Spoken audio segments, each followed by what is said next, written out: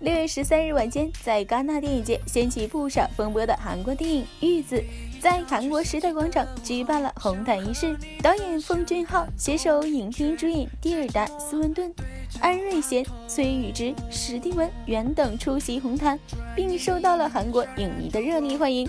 当晚，场边粉丝热情高涨。第四次访韩的主演蒂尔达·斯文顿成为红毯上的一道亮丽风景。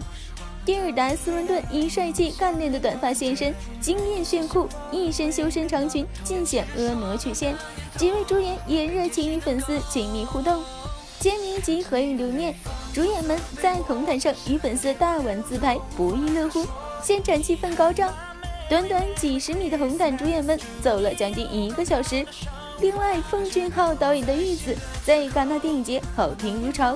但也引起了不小的争议。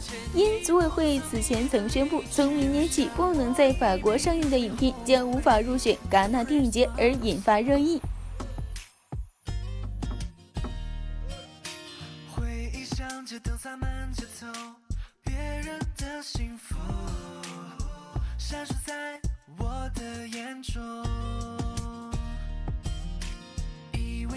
是我的呼吸。